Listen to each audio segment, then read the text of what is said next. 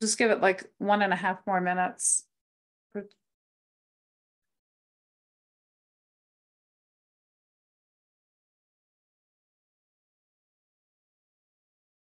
But here's Cindy. And Lindsay, yay.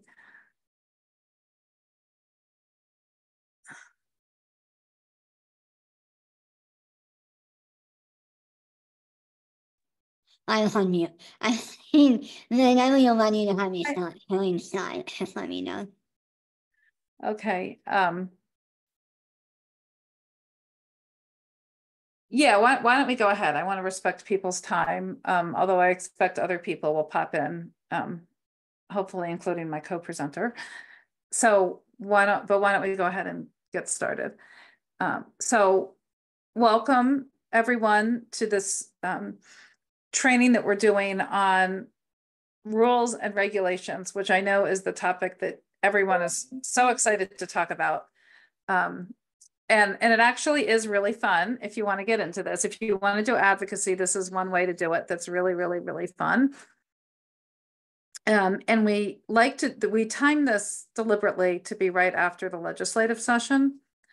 And the reason is, is because often people think that, you know, okay, you, you often hear in advocacy circles, well, how many bills did you pass? Um, and the answer is it doesn't matter. Um, because if they don't get implemented, it's just, it, it's, um, you know, it's useless. So passing a law is just one, is just really the first piece of the advocacy work. And then after the bill, there has to be, there has to be regulations. Uh, now, regulations are not the only, uh, legislation is not the only reason you do regulations. Regulations get done for a whole bunch of different reasons, and they can be a really powerful advocacy tool. A lot of times, the stuff that we want to get done, we want to get done. Um, we can get done with regulations. It doesn't have to be through legislation, and it's easier to change a rule um, at the state level. I want to be really clear about that, not at the federal level, at the state level than it is to change a law. Um, it is certainly possible to change rules at the federal level, but it is much, much more difficult. So um, you can go to the next, it's also a way to hold systems accountable. Um, is by having rules. So what we're going to do, what we're going to talk about tonight is what is a regulation? Um, who decides when we regulate? What is our state regulatory process? We're going to talk about the Colorado Administrative Procedures Act, which is again a much, much more exciting advocacy tool than the title would have you believe. And then advocacy tactics around regulation. We're also going to be joined by Joe Donlin from the Department of Healthcare Policy and Financing, who's going to talk about it from the perspective of being inside a state agency because obviously as out as as independent advocates we only know it from outside of a state agency. So it's important to know how they see it as well because the because it's always going to be run by an agency. Um, i do uh, when i talk in public um, in person i always tell people that i have a visible disability that people can see because i use a wheelchair but I also have a hidden disability and that's that I'm from the East Coast, so I can talk really fast. So if I start talking too fast, just someone can just yell out to slow down. There's this new feature on, I think it's Microsoft Teams. When you're doing a presentation, something pops out and tells you you're talking too fast. And when that feature's on, it does it to me like all the time. It's um, it, it, it's it's both illuminating as a speaker and also a little creepy. Um, but feel free, I'd much rather hear it from a human than a computer if I'm talking too fast. Or if I go over a concept and no one knows, if you don't know what it is, I'm sure there are other people who don't know what it is. So I think I failed to start by introducing myself. Um, so I'm, I'm Julie Reiskin. I'm one of the co-directors and the other co-director, Hillary Jorgensen is here and she's running the slides. Um, and regulate, and the reason we're doing this is regulatory advocacy is a huge piece of the work that we do at CCDC. Um, we probably do, um, we do, we do a lot of legislative work, but we probably do more regulatory work. Um, and most of our regulatory work is with the Department of Healthcare Policy and Financing, but we also work with Human Services and the um, occasionally other entities like the Department of um, Public Health and Environment or um, the Department of Labor. So if you could go to the next slide. So, no, back one. So what is a regulation? A regulation is really just a fancy word for rules. Um, and what is a rule? Um, so it's a small group. So people could either speak up or put in the chat. Um, we all live with rules in our lives. Um, and so regulation, again, is a rule that is, you know, kind of put in writing and formalized by the by a, some government entity. But we all have rules in our jobs and in our and in our families, right? So can someone think of a rule that a, a type of policy that everyone who works has? Every job has it. What's it called? It, I'll give you a hint. I'll give you a hint. When you get a job, you sign it, then you lose it. And then when you're mad at your boss, you're frantically trying to find it to, to see what they did wrong. Um, or you're, you're trying to, or you, you might want to look at it to see if you have a certain day off. What are those called? Okay, handbook. Employee handbook. What, what, what did you say? Someone? An employee handbook. An employee handbook, yeah, it's, um, yeah, contracts sometimes at certain levels. Um, and, and a lot of times people call them like your personnel policies. But, and so that, that's an example really of what a rule is. Um, now at the government level, there, it's, it's formalized and there's a process that we'll talk about later. Even in our families, we have rules. Um, if, um, everyone, if you think about it, you have a rule that you have in your family. Um, I know, and our family, one of the rules that we had um, for our kids was no, um, you could not alter your body, like meaning tattooing, before you were 18. Um, you could you couldn't do anything like permanently altering your body before you were 18, and that was a rule that we had in our family. Of course, both of them then immediately inked up the minute they were 18. But every family has a rule, and again, the the kind of the, the lower you get and the more micro you get the more the less formal the rules are but it's but a rule is something that's understood. When it's a government rule it has to be in writing. It can't just be understood. The other thing the government can't do is they can't say this is the rule because i said so which as parents we get to do. Doesn't always work very well but we get to do that.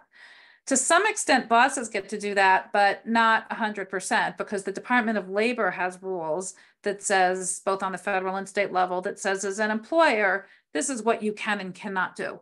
So for an example as an employer you can't just not pay someone. That's against the law. Um, you can as an employer decide what the hours are going to be.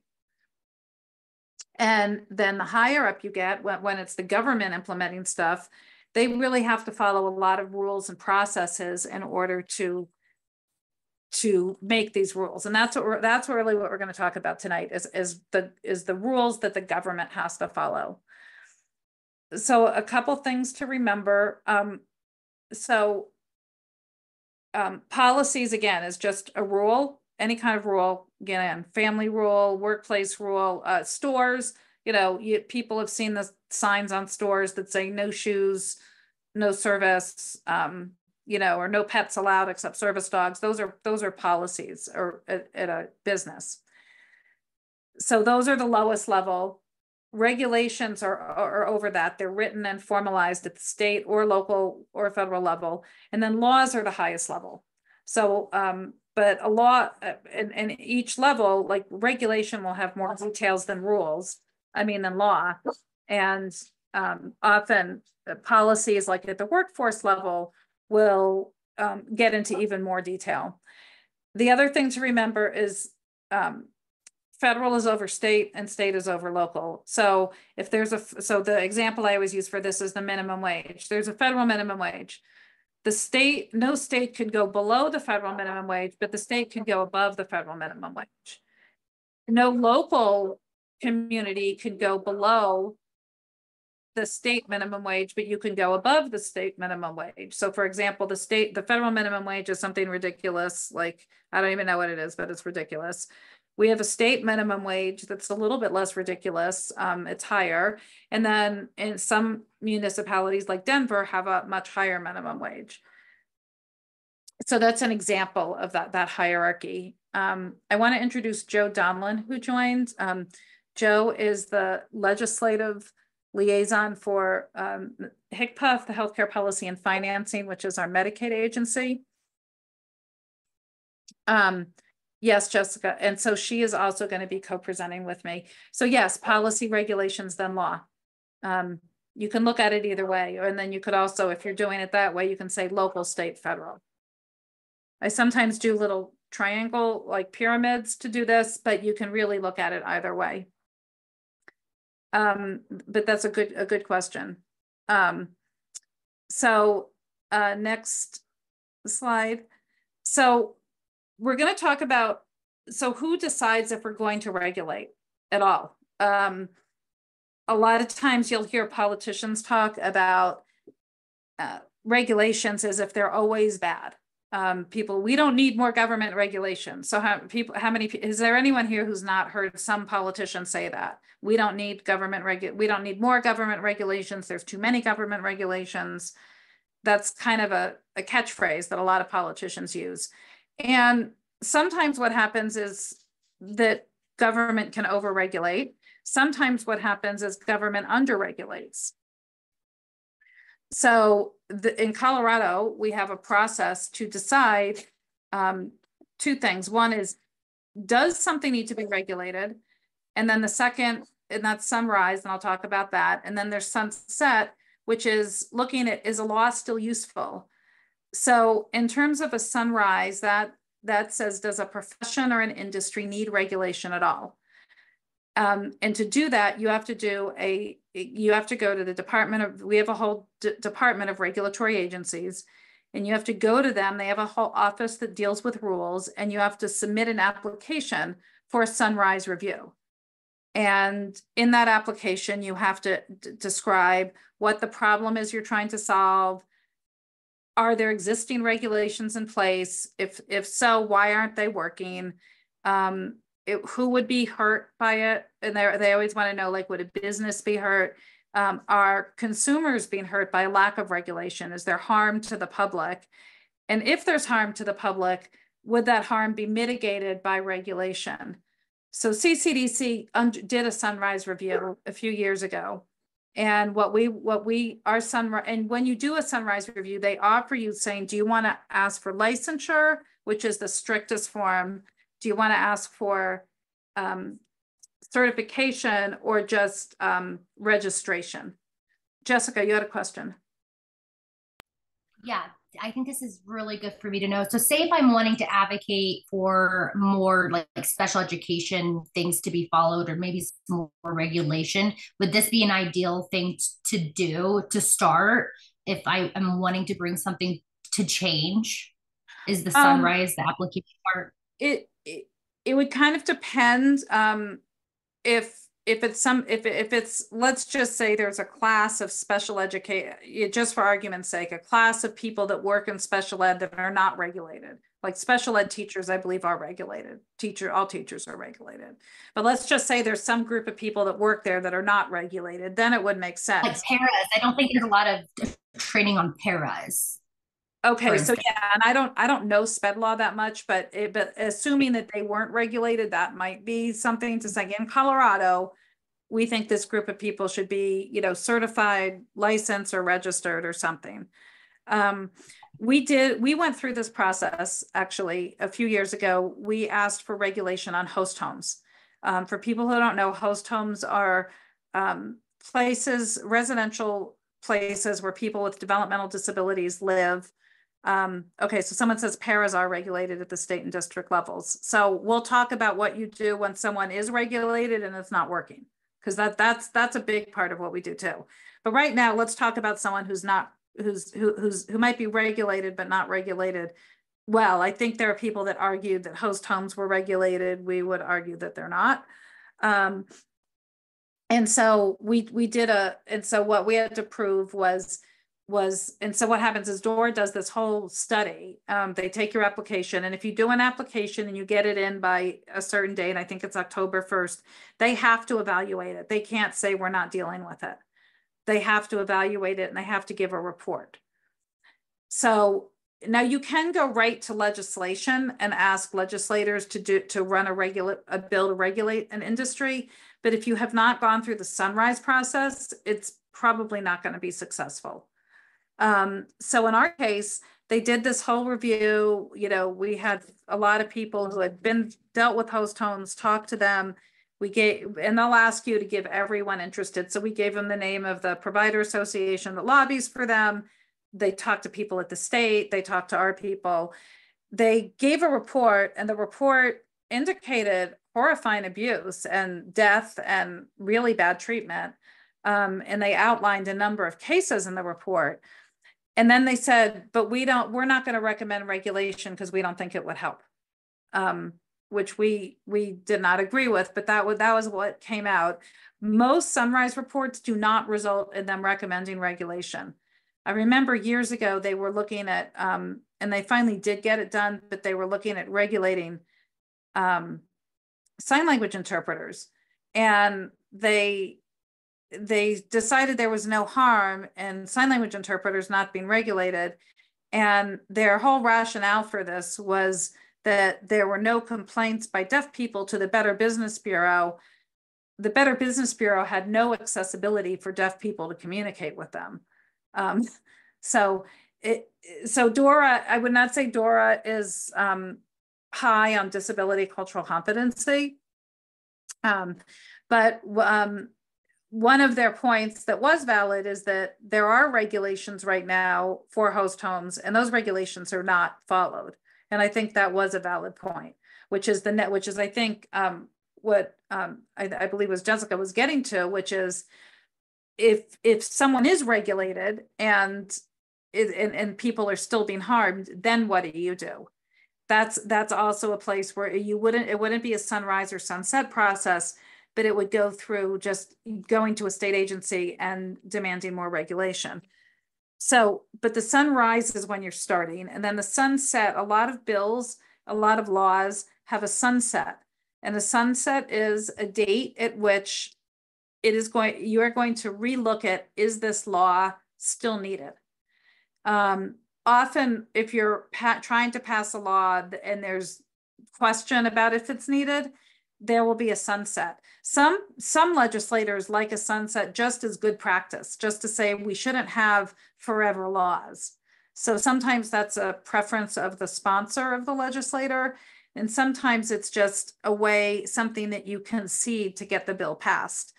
But what they do, and, and so Dora also does a whole study with sunset reviews, and in each of these sunset and sunrise, there's a big public input process. So it's a place where we can always have a say.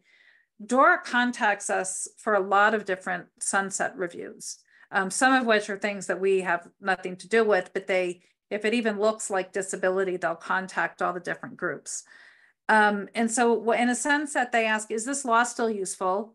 Because sometimes laws are just no longer useful um, or not even relevant anymore. Um, it What should change, if anything? And when should we review it again?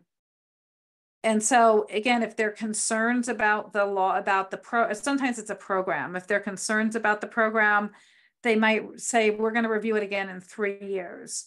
Or if there's some changes they're asking for, they might say five years so that to see if the changes work.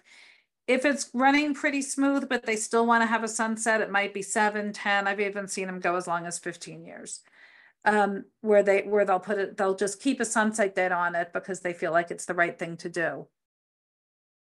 Um, is that expected time noted anywhere to reevaluate? Yes, it'll be in the sunset report and it'll be in the sunset legislation. Every sunset, when a, something sunsets, there's always going to be legislation that comes through um, that process. And so there'll be a bill and you'll see a lot of them and they're, they're, they often come early in the session, but not always and it'll be, you know, in a, the bill will be sunset, you know, whatever. So this year, one of the programs that went through sunset was the Commission for the Deaf, Hard of Hearing, and Deaf Blind. Um, there is a lot of drama going on there with that program. Um, the but the sunset didn't really deal with that. It dealt with um, just a couple things, and it ended up, and the bill ended up not even really dealing as much with those things. But it was really, it really focused a lot on should should the state, Should there be centralized accom- accommodations within, like, should we kind of budget it all in one place or should each agency budget their own? But in terms of, is there a need for a commission for people who are deaf, hard of hearing or deaf blind? Yes, that was needed. The programs that they have, like the rural interpreter program, the legal interpreter program, and the supportive services program for deaf blind, were all seen as, as important, good programs that need to continue and expand. Um, but the, but I think there's some drama in terms of like how things are run. Um, that's so that those are the kinds of things. When you have a concern about a program a sunset review is a really good place to raise it particularly at the dora level. But if for some reason that doesn't happen you can still raise it at the legislative level. It's just much more effective to raise it during the sunset process um, you'll get a copy of this presentation the dora is the division department of regulatory agencies thank you for that um, and that's a state agency um, and all rules pass through there at some point. Um, Joe's going to talk a little bit more about how that intersects, you know, how, how when the state is another state agency like Medicaid is doing a rule, how that is going to connect with DORA. Thank you. Um, Joe just put the website in the chat. And when you get a copy of this presentation, which you'll get afterwards, the sunrise and sunset are both linked. So you can look at them and you can read previous sunrise and sunset reports. Uh, I'm given how, how many they do, there will be some that are interesting to you. So there's some groups that are always trying to get um, regulated and, and often professions want to get regulated because it's a financial benefit. If you it, it, causes exclusivity. So for example, I'm part of a regulated profession, which is social work, and, and that governs who can say they're a social worker. And so if you've gone to school for something and you've taken a test and you subscribe to a code of ethics, you don't necessarily want anyone to just say that they're that thing. And so that applies to, uh, you know, tons of professions like all kinds of healthcare, plumbers, electricians, um, barbers, um, nail technicians, all kinds of professions are regulated. So we can go to the next slide. So um, Joe is going to take over from here and talk about what is it like from the state perspective after the legislative session? What happens? How, how do the rules get made? So, um, hi everybody, and I'm sorry I was a few minutes late. I was stuck on a, another call. So, um, thanks for inviting me, Julie. It's I've at certain times I've participated in these trainings at different levels. So it's nice to be here tonight. And thanks for taking the time to learn about all this stuff. It's um it's not I guess it's just rules and regulations. And when you think about it, you want to think about how laws sometimes aren't very specific. And so when we start thinking about implementation, it's like what in the what in that bill might cause confusion. But um, since we are right at the end of everything being over for 2024, I, I wanted to come and just share a few things. But to give you a sense for a big department like healthcare policy and financing, we followed about 65 bills. And at the end of the day, 45 bills in the legislative session this year affect our agency. So everything has been signed that was going to be signed. The governor, after the legislature ends, the governor has 30 days to sign what he's going to sign and or not sign and let things pass without signature or veto. So that time has passed. So officially, I always like to wait till that very last day to say that this session is fully over. Just to make sure there aren't any surprises or changes that we don't know about. But um, once that happens, an agency really, the session's over and we really take over in the process because agencies are built, the executive branch is the implementation branch. The legislature makes the laws and we implement the laws. And so with that, we what we do at HCPF is we take every bill that affects us and we do an evaluation of it just to make sure that some amendment didn't get on there that we didn't know about or a lot can happen throughout that process little things that you might miss. And one word in a bill can make a huge difference. Um, and so we take each bill after it's signed to make sure we have the final version. And then we identify bill leads. The bill leads create teams. And then they have to identify those teams and what are all the steps that the agency has to go through to make sure a bill is implemented correctly. Um, that could be a bill could have that we have to create an advisory group. Well, are those people appointed by our executive director? Are they appointed by the governor? Are they just selected by application? All those details. Or maybe we evaluate not every bill, every new law will not require rules, regulations. So we won't do rulemaking on every bill. So we do that, that evaluation, sort of identifying the key elements in each bill and what it's going to take to implement that. Then we look across the department to our different offices. Um, is there a systems change? We have huge systems. As a big public health insurance program, we have a lot of technology that we have to implement. So does a bill require a systems change? Then that involves that team. Does it involve rulemaking? That's our legal team. Does it involve a communication plan? Um, for whatever reason, maybe it's it's working with a certain population that we don't do as much outreach to as others. So we have to figure that all out. So all those things we have to look. And then we have to look at, are there other state agencies involved in this bill with whom we need to work? So is the Department of Public Health, is there an angle there? Um, how about the Department of Human Services? We've had a lot with the new Behavioral Health Administration. What does that look like? So thinking about where all the other agencies land with a particular bill. And then to get to the heart of tonight, it's rulemaking identified. Do we need to do rules? And as Julie said, um, laws trump rules, and rules need a law before they can be drafted and promulgate. Promulgation is the official word to have something, have a bill, have a rule go all the way through the process. So um, there has to be some law that we attach a rule to. We can't just make, we do have general authority to write rules, and that is in the law. And sometimes that is um, necessary, but many times a bill will say the department shall promulgate the rules to implement this law. And so that gives us the legal authority to do the regulations.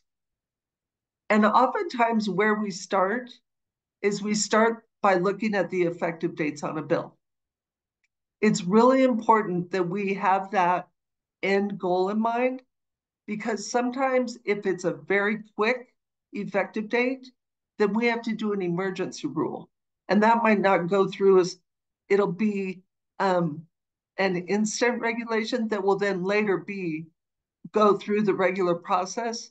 But there might be a law that needs us to, to specify something very quickly. And so we take care of those knowing that then we have a longer process for those. So we really have to keep an eye on the effective date because the rulemaking process takes four to six months from the very beginning to the end when it is posted by the Secretary of State and it becomes official. So we have to look at their schedule and we sort of go to the end and then go backwards to figure out our schedule for it. Anything other on that, Julie, before I move on from your perspective? Can you give an example of a rule that has to be passed immediately? Um, I knew you, the one thing I didn't do today was look at some, um, if there was something that really affected the safety of our members in a particular way. I'm trying to think. Um, maybe it is access to a, a certain procedure or um, Wasn't the public health emergency one? yeah, I mean, the public health emergency, we had um, some definite rules around telehealth. That's a Mhm. good example. We had to do some emergency rules to say that people were going to be reimbursed for telehealth. Thank you for thinking of that. Um, and then later we had to go and make those permanent rules. But that's a good example. But sometimes it's merely by um, the reason is because the bill is effective upon signature.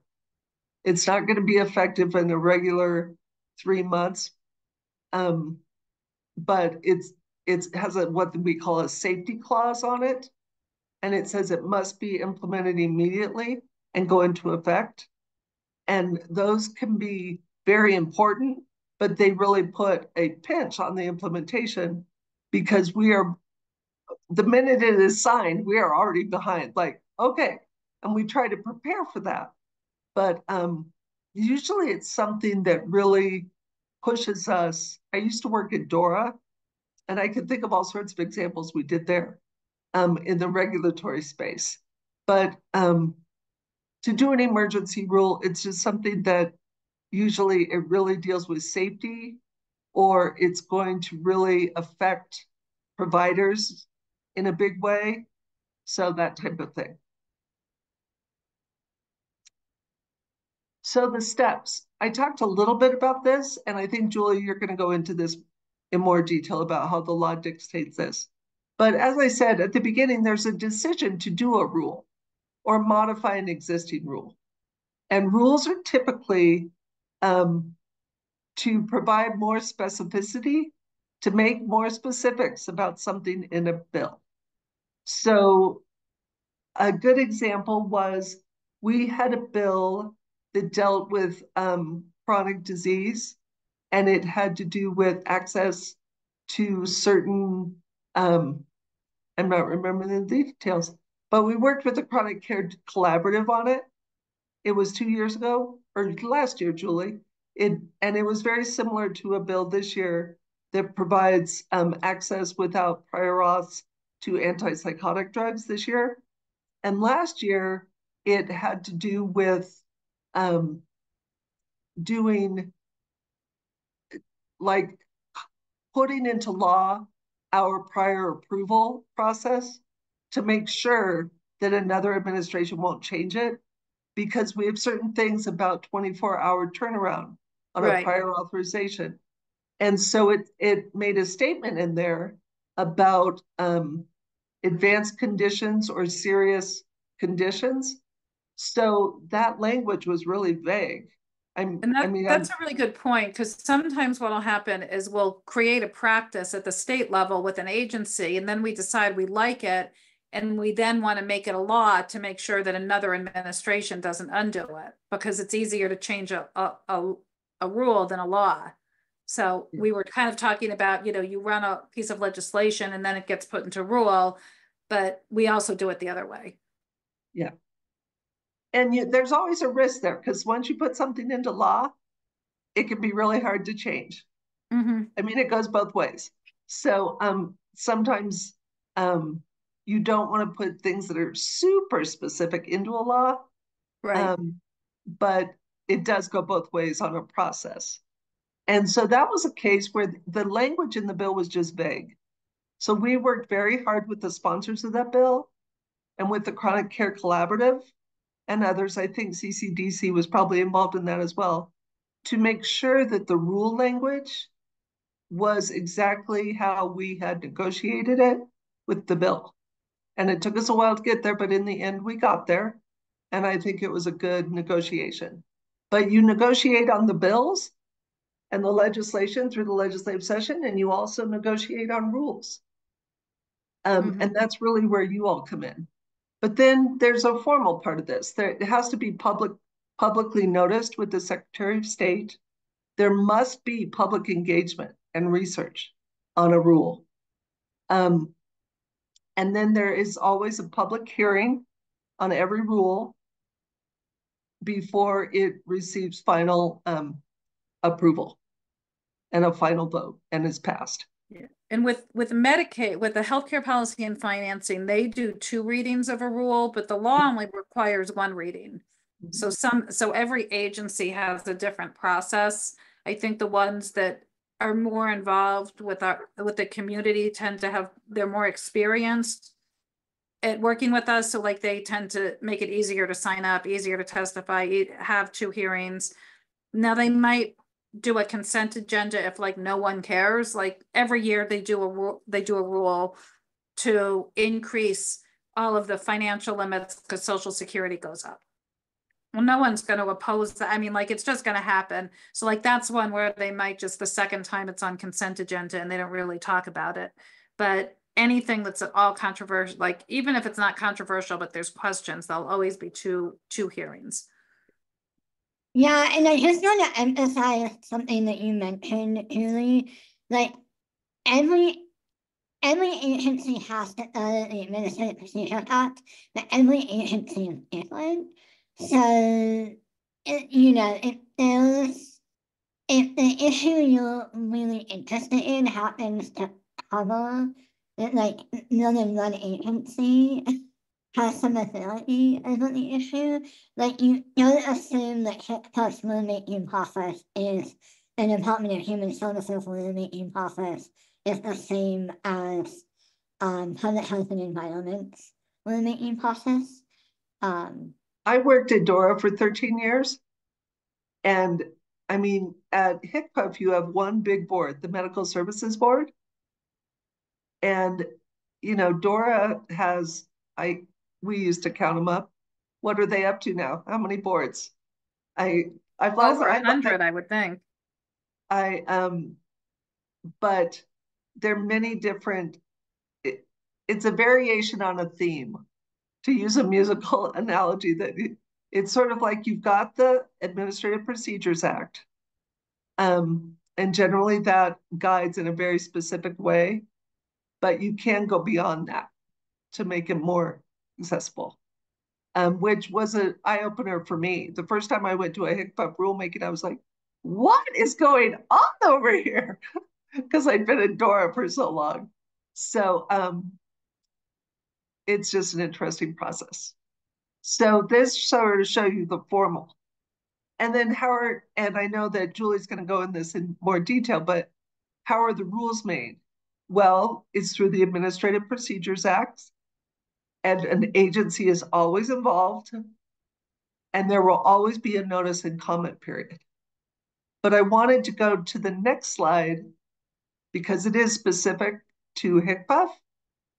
And this just gives you a little bit of an idea. And this is a very busy slide, so I apologize. But um, it gives you a sense and that little gauge at the bottom, sort of where you can have the biggest impact when it comes to rulemaking. And my advice is get involved early and often. As I told you, the first thing when bills pass, we we develop a bill lead.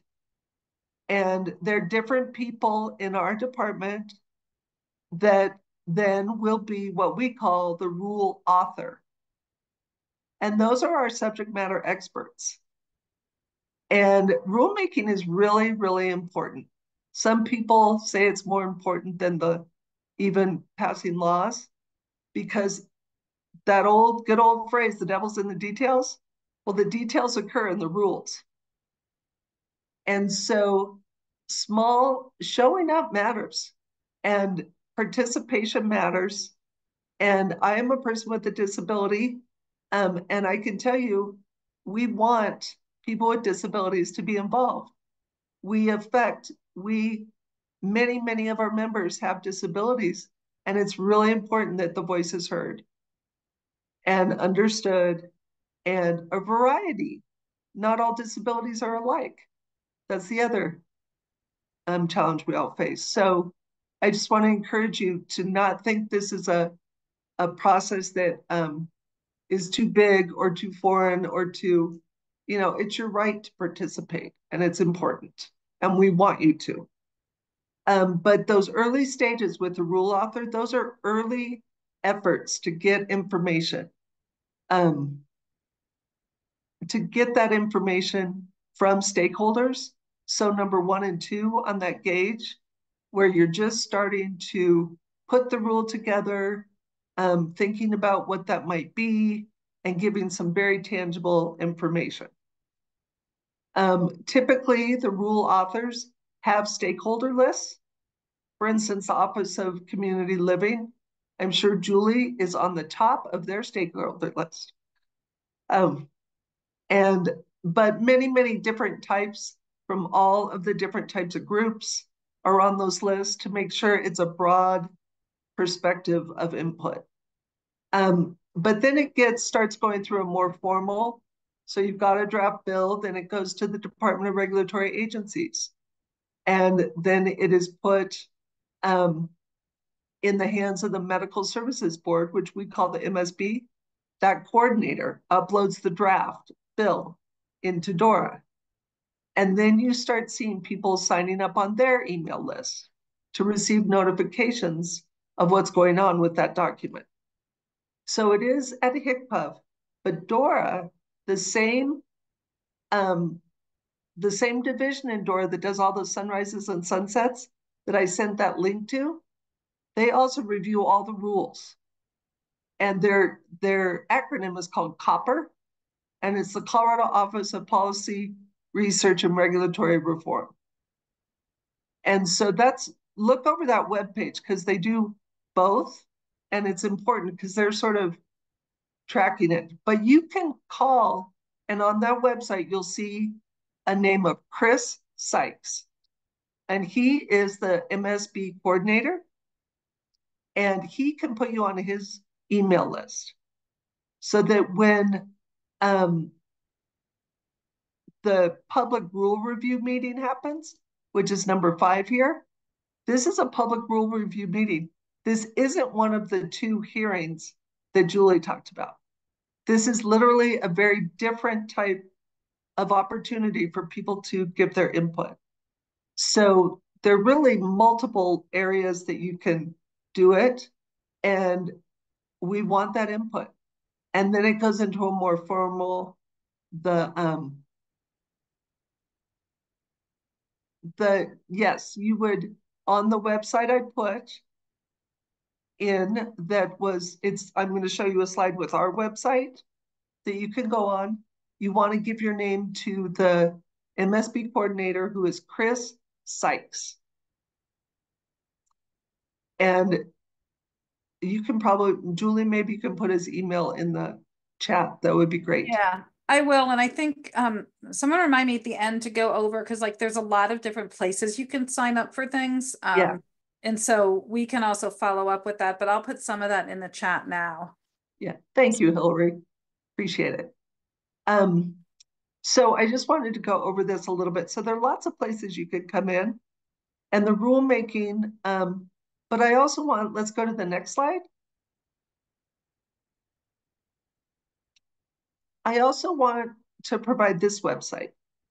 This has a list of all the different areas in which you might be able to um, get involved.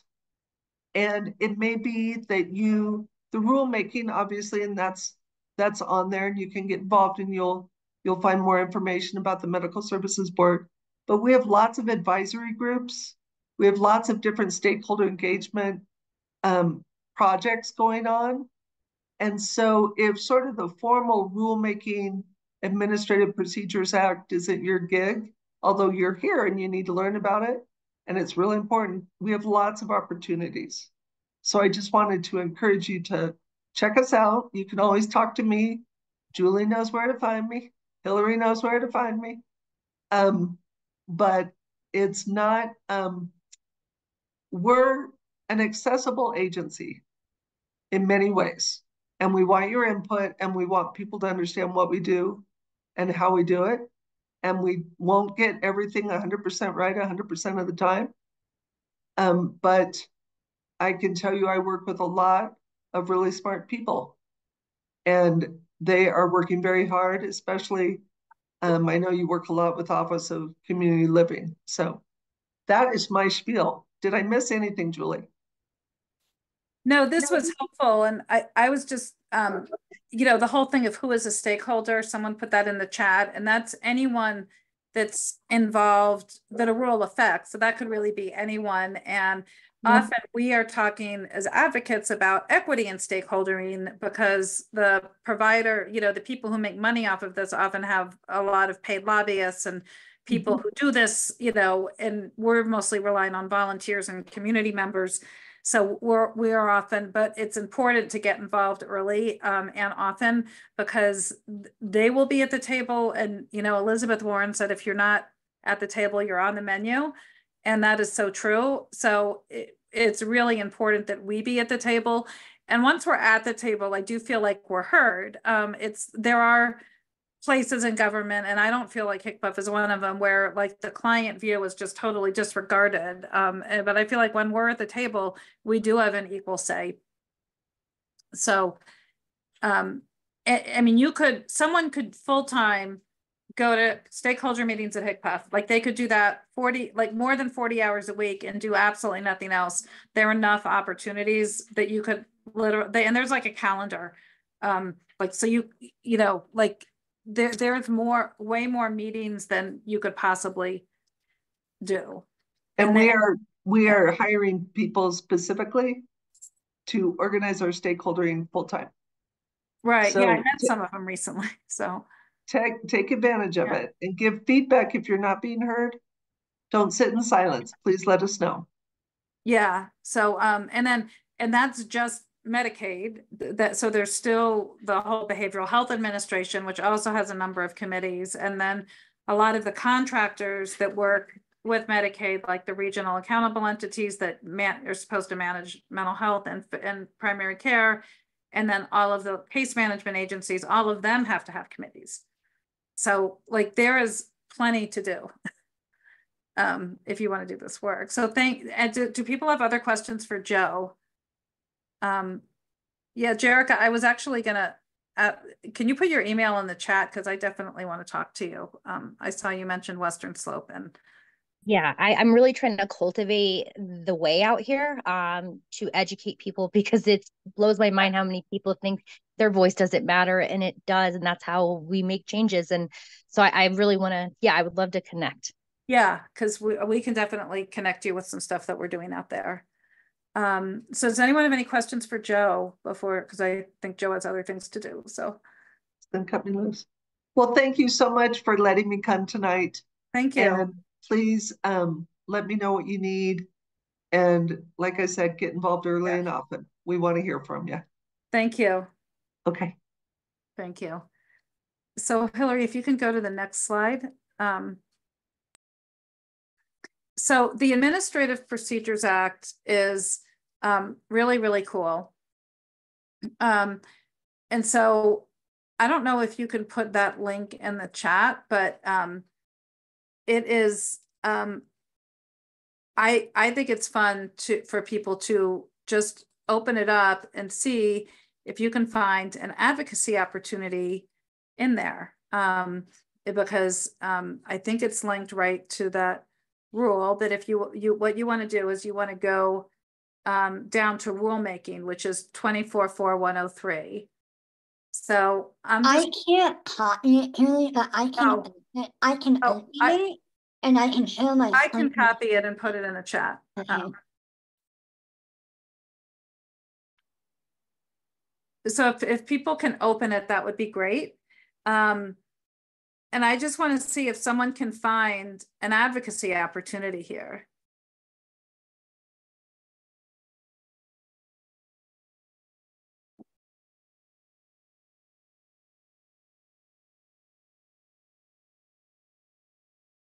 Or something that maybe you- you think that not every state agency is doing.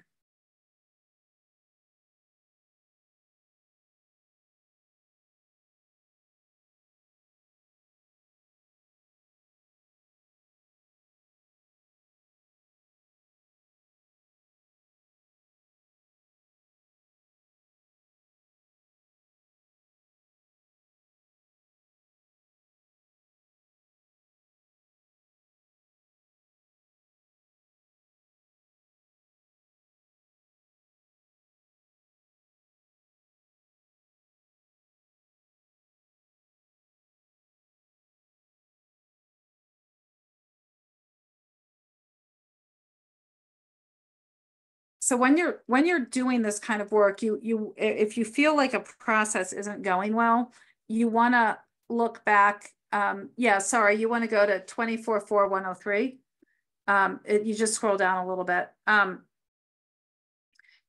when you're doing rulemaking, what you want to do is you want to look for um, if it's not going well, particularly, you want to go look at this act and see are they doing everything that they are supposed to do? One of the things that is really important, um, it's 24 for 103, rulemaking procedure definitions. Um, um, you want to make sure that they're doing what they're supposed to do. One thing that we find a lot is all of a sudden, um, a rule is being interpreted one way, and then all of a sudden it's being interpreted another way when that happens, um, we've had, we've actually had this happen in Medicaid quite a few times where um, an example is for long-term care. Um, when you're evaluated for long-term care, the for forever it's been that your mobility is evaluated without respect to device. Um, with that with, that there's you're not they don't consider a device. So if you use a wheelchair they consider your mobility needs without the wheelchair um, or whatever it is that you're using. Um, so it um, i'll just put this in the chat. Um,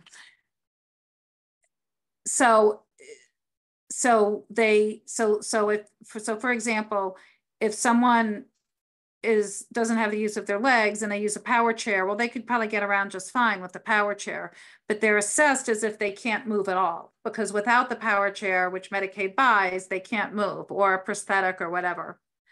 So all of a sudden, we started getting these complaints of people being assessed the other way of saying, you don't get any points for mobility because you get around fine with your prosthetic, your wheelchair, whatever.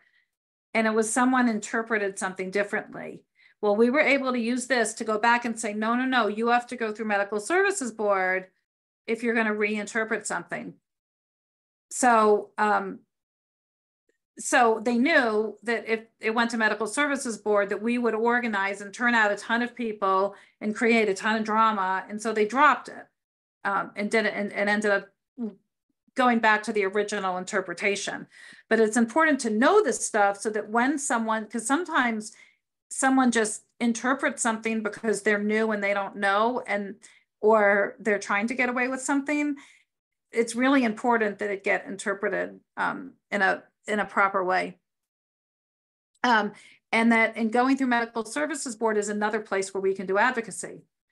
Um, and so that's important. Another advocacy opportunity here is the interested person list so it says the agency, so every agency has to, it says it shall establish a representative group of participants with an interest in the subject of the rulemaking um, to participate informally. So that means the agency cannot, by law, they're not allowed to just sit in their desks and make up a rule. They have to talk to people it affects. And that's that's clients, it's also, you know, the vendors or providers, but they can't just do it without talking to people.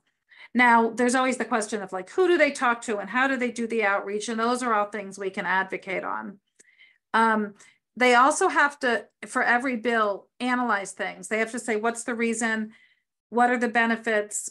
What are the costs? Are there any adverse effects on anyone?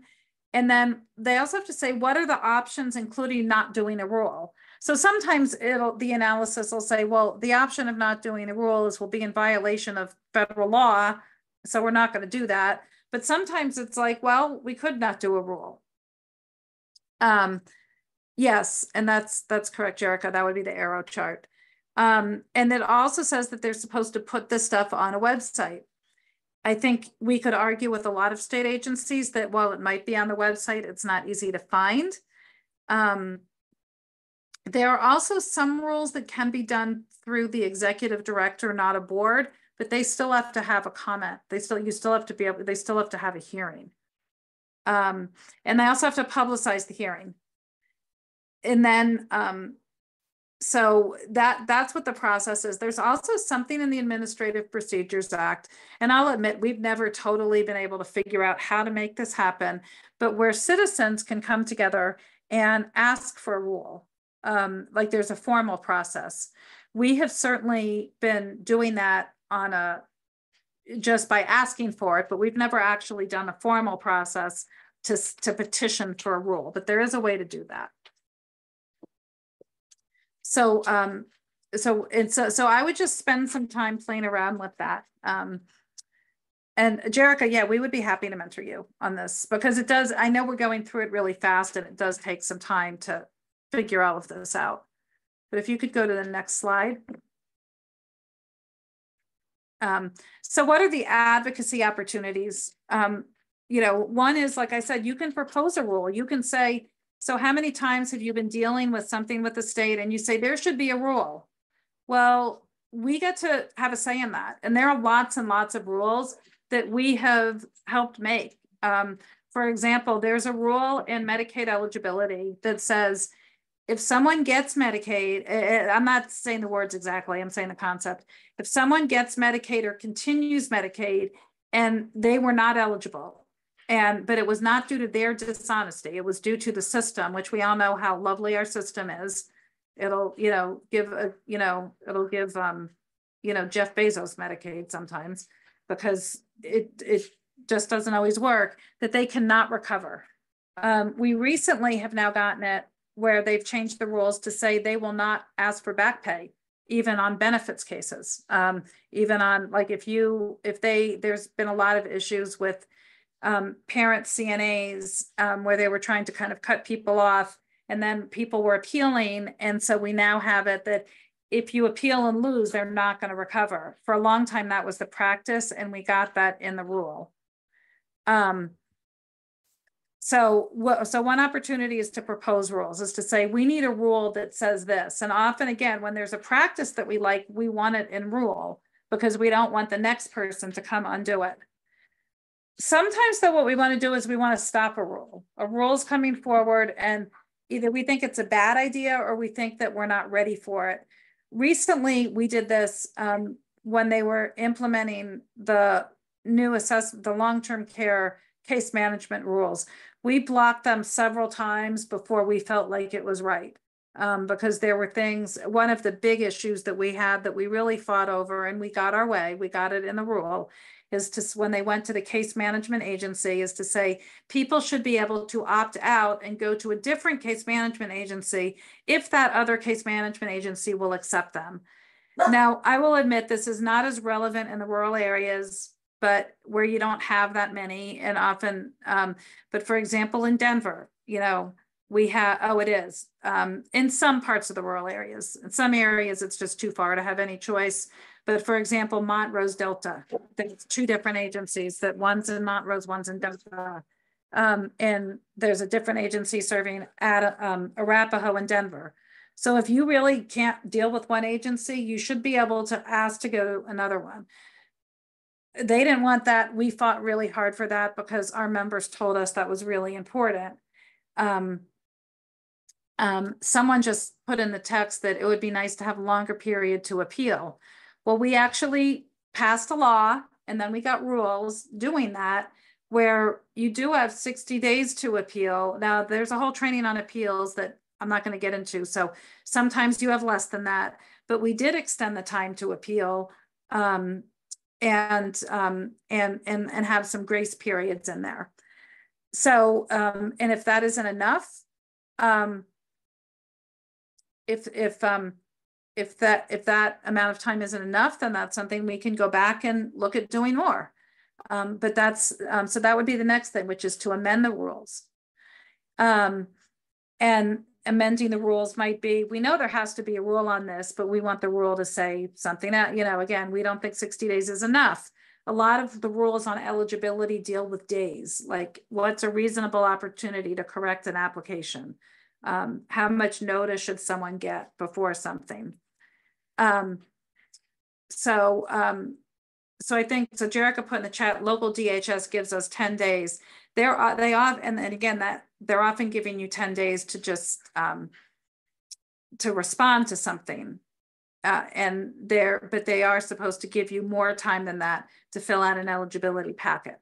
So that's a great, great example of why you need to know what the rules are, because um, if if you fill out an eligibility packet and then they need another piece of information, 10 days might be reasonable, but they should also say, if you need help, here's who you call. Or if you say, I need more time, they should honor that depending on how hard or easy it is to get the thing that they're asking. We're getting a lot of complaints about people asking for, you know, a bank account from 1985, which is not something that's easy to get. Or, you know, what happened to a car that you had 15 years ago. Um, and so, yeah, so knowing what you can and can't do, what they can and can't ask um, is really um, important. And yes, also to ask, you can always ask for reasonable accommodations just to access the process. So if you are getting stuff in print and you need it electronically, or if you um, if you can't if you have like a cognitive disability and you can't access encrypted emails, you can ask that stuff be sent in a different way is just a couple little examples. Um, so amending rules are really important. So often when a rule comes out, we look at it and we like to have lots of people look at it to say, what is it that we don't like about this? Now, just like with the law, some things, there might be a big rule and it might be that they're only changing a certain section. And that's really what we can comment on. That's really what we could change in that setting, but we can also use that time to say, here are some things that we're gonna um, that we, we know is not in this rulemaking, but that we don't like and we're going to comment on and ask that it be brought up at another time. And the reason you want to do that, knowing they're not going to change it, is because they they keep what they call sometimes they call it listening logs or public comment diaries or something like that, and they can then be asked later what came up in the listening log for such and such. Um, we there was recently again a really large case management rule, and then um, we started hearing some stuff in the developmental disabilities arena that changed. And so it was a very long listening log. There were over 300 comments filed. So we had to go through and look at every single comment to say, did we, did any of us even see this, this one piece that we're now concerned about coming? Um, and the answer was no, there was no, not one comment in it, which means it was not discussed again, it was still, it was in the rule, but it was not discussed. It was not flagged as a change. Um, so we went back and said, this is a problem. We need to deal with this. Um, even though, again, it, a, a, rule had already passed. So the thing we didn't like was already in the rule, but that doesn't mean that we can't say, we still want you to go back and relook at this. Sometimes when they're giant rules, um, like because we just went through behavioral health rules that were like 800 pages. So we know we're going to miss stuff, but we'll ask for we'll ask for the a commitment from the rulemaking board or the agency to say in a year, 18 months, once you start implementing, we want an opportunity to come back and make further changes. That's something we've learned the hard way. Um, we've learned from making mistakes that it's important to do that because we, we are going to miss stuff when these are when they're gigantic rules. And we often don't like gigantic rules, but sometimes there's a reason to do them. Um, one of the things we do and where we could definitely use more help when they're large rules is we try and parse out pieces. So we'll maybe have a little chart and we'll say, okay, this, you know, someone just said, well, I, I have two kids with autism. So maybe if that person knows rules for early childhood, we'd say, can you look at this section that deals with that? Uh, then maybe someone else would say, can you look at the eligibility piece? Can you look at the case management qualification piece? and everyone looks at a different piece and then we come back and kind of compare notes and then we submit comments as a large group. Um, sometimes that's a good thing to do. Sometimes it's good to have a lot of individual comments. It's a strategy decision. Um, and then, so, so we can propose rules, we can stop rules, we can amend rules. The other thing for individual advocates, um, and I thought I saw Amy on here, um, who's one of our individual advocates on the team, is we use the rules to benefit our client. Um, and so you can use the rule. And so when I say client, that could just be someone in your neighborhood you're helping. It could be anyone with a disability that you're helping. There's a lot of stuff in these rules that really, really helps us. Um, and that's really good, but we've got to know them. So, for example, there are um, response times for case managers um, that are, are not being met very well right now. Um, but we, but the rule is the rule. So we can complain by saying if you did, you know, if someone asked for an assessment for long-term care services in a certain amount of, I don't remember what the days are that they have to respond, but it's a certain amount of days. And it's based on the situation. Like if you're in the hospital, it's fewer days than if you're in the community. But whatever days pass and that doesn't happen, we can go back and say, hey, the rule said you have to do this. And then when that doesn't happen, we can go to Medicaid and say, hey, they didn't do this. The rule says, and it, and it does get tedious, but when you can point out the rules, you have a lot more leverage. When you file an appeal, the administrative law judge is only allowed to look at the rule. Um, the that is the only thing they can look at, which is why it's important to get these rules right. So if you're filing, so let's just say you're filing an appeal, um, and we, Amy just said we file a lot of these, and um, someone got a notice. Today is June 19th. So someone gets a notice a week from today on June 26th that says your benefits end on June 30th. Um, well, guess what? You file an appeal, client wins. Don't it doesn't even matter if they're not really eligible. Client wins. Why? Because the rules say unless the client has died, you have confirmation that they moved out of the state, or they have they, there's like you absolutely know and you can convict on fraud um, that you have to give 10 day advance written notice. If you get a notice on June 26th, that's not 10 days before the 30th. So the judge will just rule, we win. Um, and then they have to start over, give you a new notice, and then you know you can decide if you're going to appeal again. Then you then you maybe find eventually get there on the merits. We win a lot of cases like this of just no, no, you violated the rule, we win. So you can use these rules to, again, to benefit people, um, particularly in terms of timelines, but also other things. Uh, medical necessity rules say that there's certain things that they have to consider. Um, they, they can't go outside of that. Um, so, um, so th these are the advocacy opportunities for working on rules. Can you go advance? So some advocacy opportunities in the rulemaking process. Um, so there's definitely there's sunrise and sunset. You can get you can ask for a sunrise. You can also participate in a sunrise. You can look on that DORA webpage and see all of the things that are under sunrise. The same thing with sunset. Um, you can be involved with sun, with um, with the sunset. You can make comment. A pre-rulemaking stakeholder group. Um, you can um, you can be involved sometimes like when you know a rule is coming either because there was a law or because um, you just know about it you can be involved um, with that. You and all you have to do is just ask to say i want to be notified of any meeting.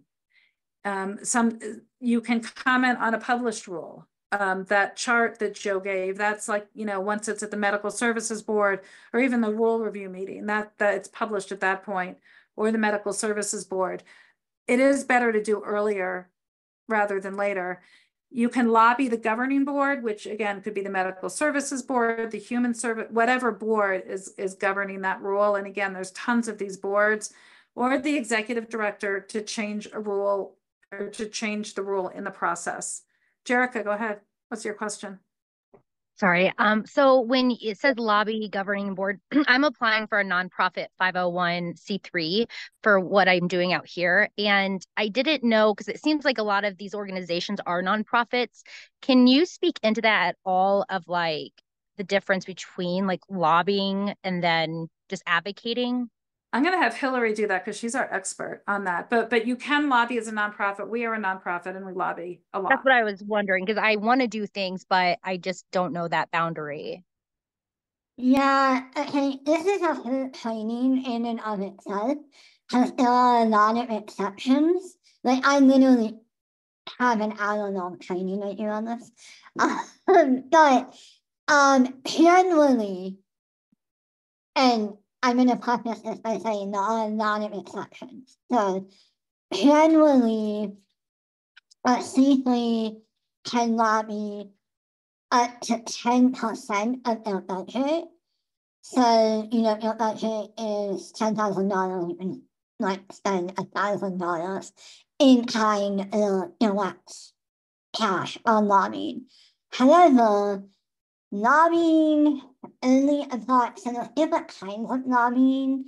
There's direct lobbying, grassroots lobbying, voter lobbying, and then rulemaking.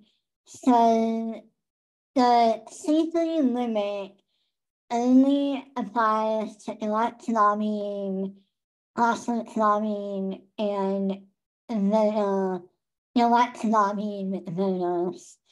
Rulemaking is actually considered an executive function, so there's not an IRS limit on how much you can advocate during the rulemaking process.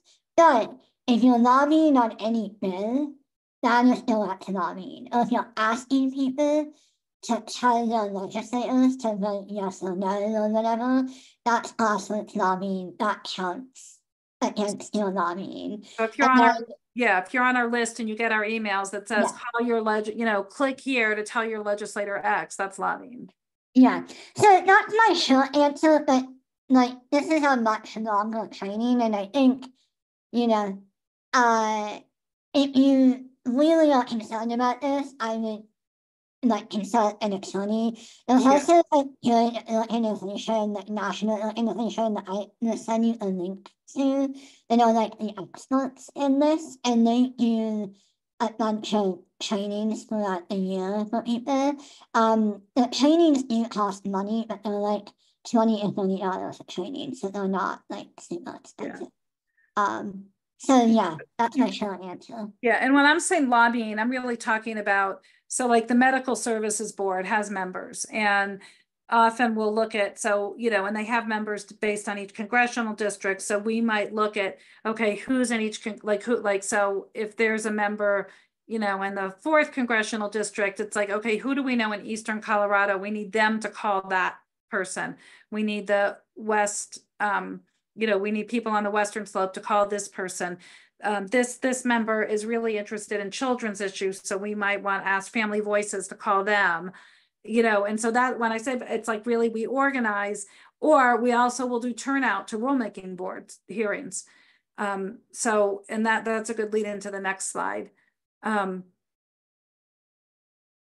so some of the tactics that we do. So there's, so, so some tactic is showing up at specific boards. Um, so a great example of this is the National Federation for, for the Blind. Um, for years, and they, they stopped a while during the pandemic and now they're back. They show up at every RTD board meeting, every single one. They're always there. They don't always comment, but they're always there. And just them being there means that their issues don't get forgotten about. Um, so eh, we, for a long time, were showing up at every med- eh, medical services board meeting. They're now mostly virtual. But we probably need to get back in the habit of showing up at all of them, not just the ones where we have issues. We do read the rules for each one, but again, more volunteers that are willing to show up, even if showing up is, is virtually. Um, because they need to know that we're watching them all the time. Um, then another tactic is advocating for or against a specific rule. Um, and so that um, that's something that you do at a specific meeting. Um, uh, at, you know, again, so like when we were, one thing that we were advocating for with the Behavioral Health Administration, which was in front of the Human Services Board, is um, a strong, like stronger grievance processes. And we were also advocating to have, advocating to have more people with lived experience on the boards of these organizations that they're creating that are going to run things. Uh, So though that would be advocating for a specific rule. Then there's kind of advocating for principles and all rules. We tend to have a, you know, our motto is nothing about us without us. And, you know, we're always advocating for like more client involvement, more client control, more client direction. Um, another thing you can do is, um, you know, when you show up, at, I want to go back to showing up at specific boards. Um, this is what we call the, the, the Josh Winkler tactic and how he got, um, when we first got our Medicaid buy-in, they screwed up and they didn't have it for long-term care, which was kind of if the, this is the program that allows people with disabilities to work and keep their Medicaid. The rule was mostly, the- that law was mostly passed with the long-term care population in mind, because that, because long-term care is what private insurance doesn't cover. And so they were trying to get away with doing it just for regular Medicaid and not long-term care Medicaid. And they weren't um, hearing what Josh was saying. So what Josh did and organized and got a bunch of people to do it is like anytime there was a, a meeting, a like any Medicaid board meeting for like any issue, any topic, he would show up or other people would show up and talk about that issue. And quite frankly, they got so sick of hearing about it that they just finally did the right thing and that that does work. That tactic works is you keep on harping on something long enough and but you've got to be really persistent. And what that means is you can't just go to that one meeting. You've got to go to every single meeting they have and at every public comment just go on about that one thing. But that is an effective tactic. It just takes time. So um and they um you know, they they didn't listen to him, and then and then he wanted to get on the medical services board, and they they blocked him. Well, guess what? Now he's the governor's policy advisor for all disability, so um, he gets to call them and ask them what they're doing. Um, so, it, but that but that's really what involvement can get you is like just showing up and being involved, and then people eventually realize, hey, this person's making sense. This th th they're right, um, and then you know, even if the bureaucrats aren't don't want you there are people in the system that are there for the right reasons. In our case, it was the lieutenant governor, who was a very strong, passionate uh, member of our community. So that's yeah, and that that is a great example of like how how this kind of work can really end up. You can really have power to make changes, and in the position he has, making those changes, he's able to do so much for our community, like so like stop so many bad things that never even hit um, just by being in the room. Um, because so often just having, and that's why I'm so happy that Joe Donlin is at HCPF because I can tell you when we were fighting about wheelchair stuff and people there were not believing it was as bad as we were saying it was. Joe is a wheelchair user who was sitting in the room, who's their colleague said it is that bad. And here have been my experiences that changed their attitude in a way that none of us could um, serving on boards, um, particularly those of you who aren't known. Um, it's a good time to get on a board before you're known as an advocate. Um, you can, um, there again, there are lots and lots of boards. There are, um, again, they're governor appointed boards. There's a lot of boards. Some boards you uh, get appointed by legislators. I'm on a board right now where I was appointed by the judicial branch. Like there are all different ways to get on these boards. But if you, if someone says, you know, again, the, there'll be a link um, at the end to look at um, all of the different boards that our state has. And again, there's hundreds of them. Um, so, um, okay, Jarek, I thought your email looked familiar because because we're I'm involved in that. So now now that I thought your email looked familiar. Um, but serving on boards is a really good way to be involved. And again, there's all there are boards on the local level, the state level, um, it's a it's a really good way. Um, organizing for general appearance on an issue. Um, there's with all of the case management stuff, there's a lot of organization going on around case management redesign. Sometimes it, there's a whole bunch of different pieces to that. There's getting people on the local councils. There's looking at the state rules. There's dealing with some of the transition stuff. Um, so that's um, but ha again, having organizing and having, we're actually starting a organizing on the issue of consumer direction. We're going to have a group that's just going to focus on that. And we're going to decide what rules we need changed and then go advocate. But we're going to start with our own group just on that issue. Um, and that'll be right now, we only have consumer direction for three services. It needs to be for more and it needs to be for everyone so that'll be um, so that's an example of we come together we talk about an issue we identify what isn't working and then we go to the state and say let's do that.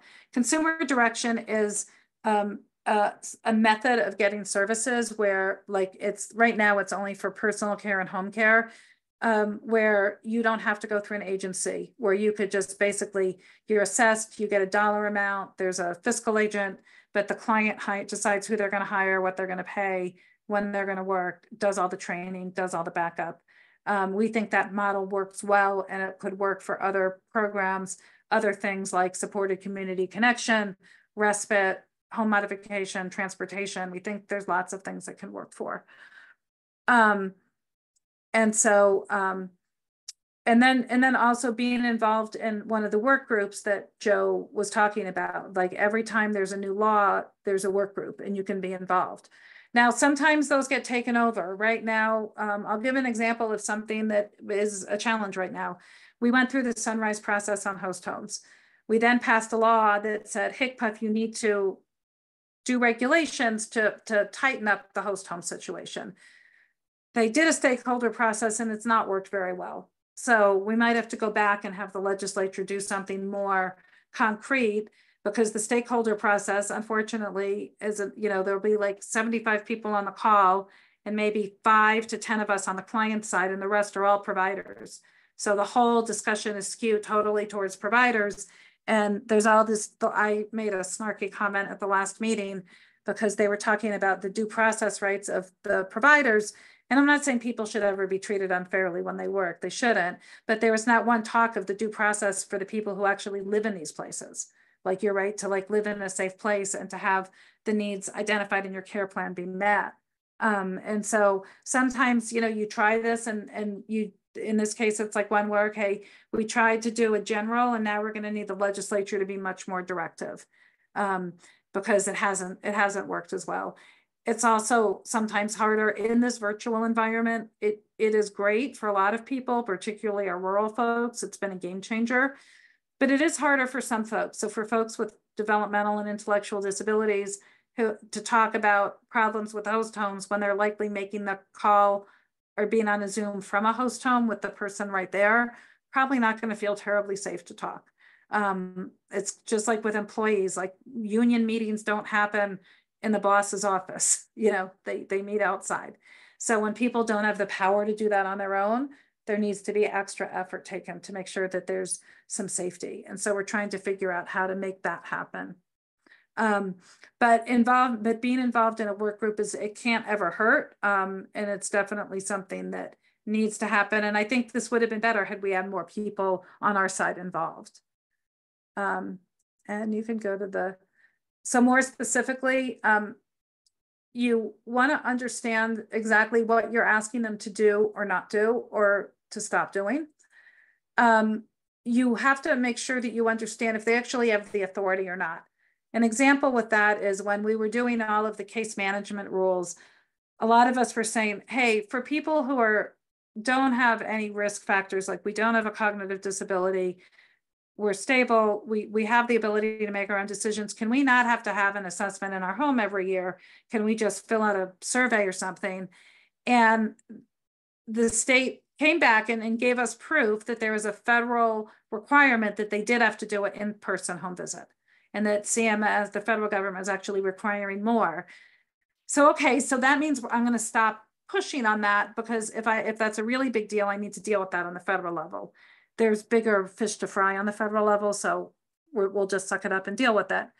Um, um, but what they do have the authority to do is to enforce the home visit requirement for the people that really need it, because we are seeing a lot of people that have really suffered over the pandemic when they didn't have them, and where someone needs to have eyes on them. And there's still a lot of them are still not doing it and wanting to do it on Zoom. And so we can't, they, they do have the authority to enforce that rule um, we need to learn who the decision maker is, and it's often not the staff that is working on the rule. Now you have to work with those staff. Like you don't want to say, "Oh, I'm not talking to you because you're not the decision maker." It's a bit, it's annoying because they'll often say, "Oh, we have to take this back and take that back." You work with them in a group, and then at some point you have to say, "We want the decision maker to come talk to us." That's not going to be right at the beginning but you have to learn who is the decision maker. It's going to be a, um, a manager, high level manager, sometimes an executive director, and ultimately often the rulemaking board. But the boards often will follow. We've gotten boards to go against an agency desire. But you have to have a really good reason and you have to show that you've really tried to work with the agency to get that to happen. And you can't do that on everything. You have to really pick your battles because if you if every single meeting you're going saying don't do this don't do that they're going to tune you out. If once in a while you come and say hey here's all the ways we tried to work with the state. They're moving forward in a way that we think is destructive. Here's why.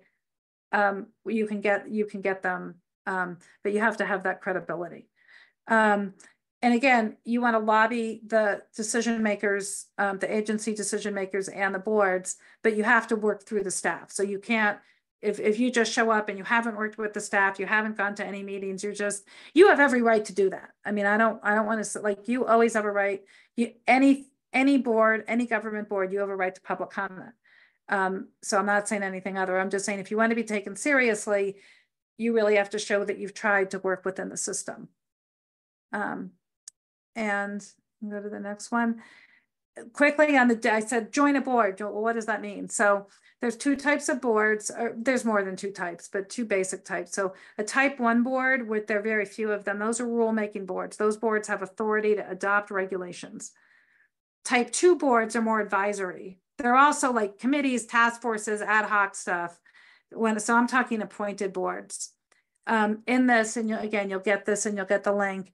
It'll give you a link to both the application for boards and commissions, which you can do online, and then a list of all of the boards and commissions. Um, if you have a question about a certain board, if you're looking at it saying, is this a good board?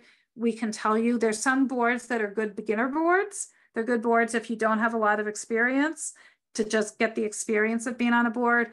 There are other boards where it's better to have someone that has more experience. Um, we also will provide kind of guidance and mentoring to people who can get on boards. Sometimes when they're doing these appointments, it's very specific. So it might be, um, you know, this is a position for um, a, a Democrat who lives in Congressional District 4 who has experience with providing healthcare. It might be that specific. So you've got to find someone that fits all of those things. Um, or it might be, you know, we need a Repu- you know, so often where they, they struggle is like a Democrat in a Republican district or Republican in a Democratic district. Independents are kind of easier, but which is many Coloradans. So again, like we need a Republican in congressional district one. Well, there aren't that many. So, um, you know, but but they often are very, very specific like that.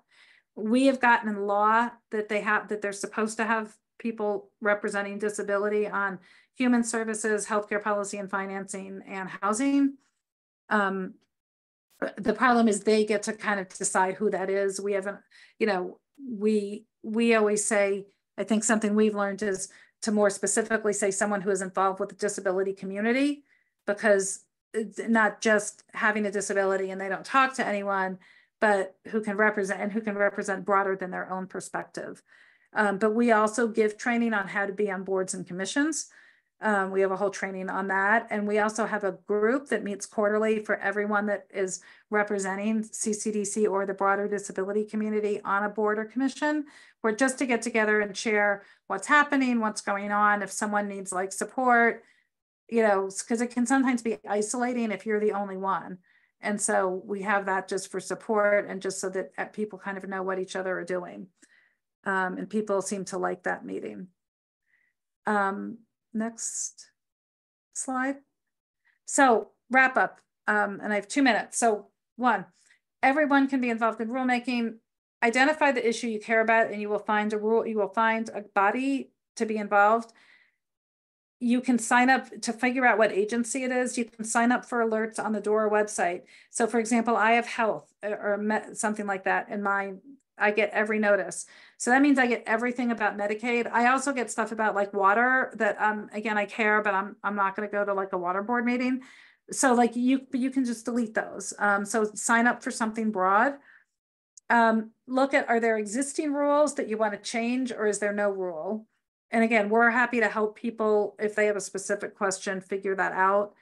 Find out who's in charge and ask to be invited to the work group. Um, read the existing laws and regulations. And again, ask for help if you need to understand what can and can't be changed in the process, because sometimes it can take a lot of digging and we might be able to answer your questions. You know, oh, you know, that's a federal reg, you know, for example, we're not going to change in Colorado what SSI counts as income. That's federal. So, um, so you know we we can usually tell you what is federal what what's something that is really federal and it's not that we don't get involved in federal we actually um, there's some important federal rules that just came out that mirrored a lot of our comments and a lot of what we've done in colorado but it is a much longer laborious process the a lot of the rules that are coming out are things that started when Biden took office and they're just coming out now. Um, that's how, that's an example of how long it can take. So, and some of them haven't even been published yet. So, um, so the federal government is slower than, um, I'm not Southern, so I don't have any of these good quotes like, I, I feel like there should be some quote about slugs or molasses, but very, very slow. So, um, we are at, um, yeah, so anyway, we appreciate you all coming. If you have questions, you can feel free to reach out. Um, and so I love seeing this is what I want to do. Um, and um, I'm, I'm trying to go through um, all of these comments. Um, if, if there are any questions, I'm happy to stay on and answer, but otherwise, thank you. Um, I think I'll stop the recording, but thank you all for um, participating in this.